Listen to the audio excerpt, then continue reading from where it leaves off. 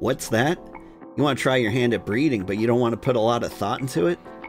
I have never felt more qualified to speak on a subject in my life. I wanted to find a way to get every flower with minimum effort, minimum thought, and minimum time. All the guides I've seen so far go into gross detail, take multiple in game years, and try to teach you every aspect of flower breeding. Here is a simple farm layout to give you every flower in the game. Over here, you plant rose, lily, tulip, rose. Just water the new plants as they pop up, and when the plot is all filled up, harvest or move all the plants except for the original diagonal.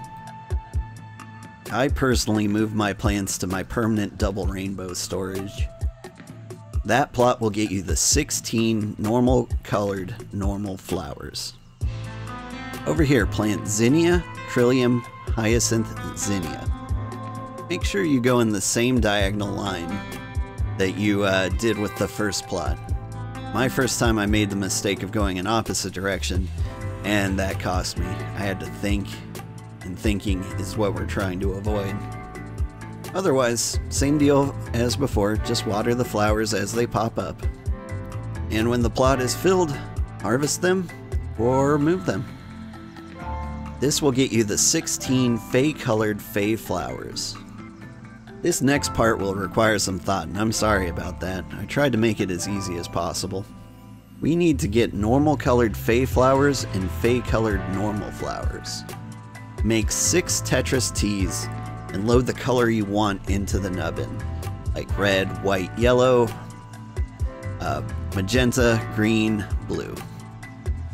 Then load the type you want into the arms of the T. Like here, I'm trying to get a yellow uh, trillium on the right, and over here, I'm trying to get a magenta tulip on the left. Do this for every color, but be symmetrical so you don't have to think too hard. Like if you're going for blue roses over here, go for red hyacinths over here. You're going for green lilies over here, go for white zinnias over here. You want the flower of the type you want to appear in the middle of the T, like this blue-red rose.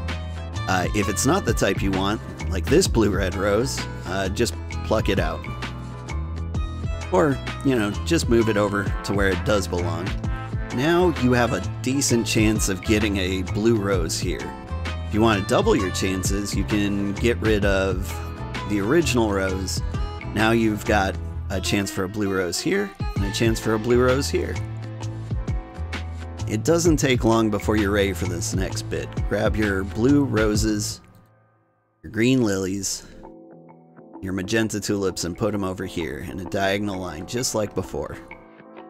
Just water the new plants as they pop up, and when the plot fills up, you can move or harvest them. This will eventually get you all the Fae-colored normal flowers. In this plot, you plant white zinnia, yellow trillium, red hyacinth, white zinnia. And you know the drill by now. Water, harvest, move. Do what you need to do. And that will get you the 16 normal colored Fae flowers. Whatever you do, just keep the main diagonals and the middle line of the T's so that you can keep growing flowers forever and ever and ever and ever. Uh, eventually, you'll get all of them. It won't happen in the first run, but eventually, you get them all. You did it! You grew all 72 flowers. You didn't have to think that hard, and if you did it right, you only had to plant 20 seeds. Got a few other tips to mention. Uh, for example, it doesn't actually matter what order you put the flowers in, just as long as the ones on the end match You can't move flowers in between farms. You could split this design right down the middle though if you wanted. Have one farm for normal flowers and one farm for Fae flowers. Uh, I wouldn't recommend it. If you have a string of bad luck breeding a certain type of flower, you can take the Tetris T and make it an H, like I did here to get the magenta zinnias. That quadruples your chance of getting the flower you want. If like me you have a double rainbow flower database, once you have it complete, you can harvest it and collect the flowers forever.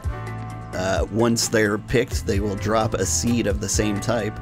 So you just have infinite flowers forever. I tried a lot of different patterns when I was trying to find the best way to breed flowers.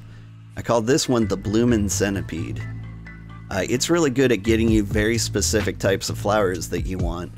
Uh, it requires a lot more thought, so I didn't recommend it in this guide. But uh, if you got a lot of space, maybe consider this. What can you do with all these flowers? Well, you could get some new wings. You could also buy some new palettes. You could even use them to romance uh, Pyria. Pyria? Pyria? Maybe some other stuff. I don't know. Science doesn't concern itself with why. All I need is my double rainbow database and my wife Pyria. What's for dinner, honey? Gummy bears and buffalo chicken again? Sweetie, you're gonna get us dehydrated. If you want to see my adventures in Fae Farm, check out my playlist here on the left, but YouTube thinks you'd be more interested in the video on the right. Either way, I think you should subscribe. I drop new videos every single day, and I'm bound to play something you like eventually.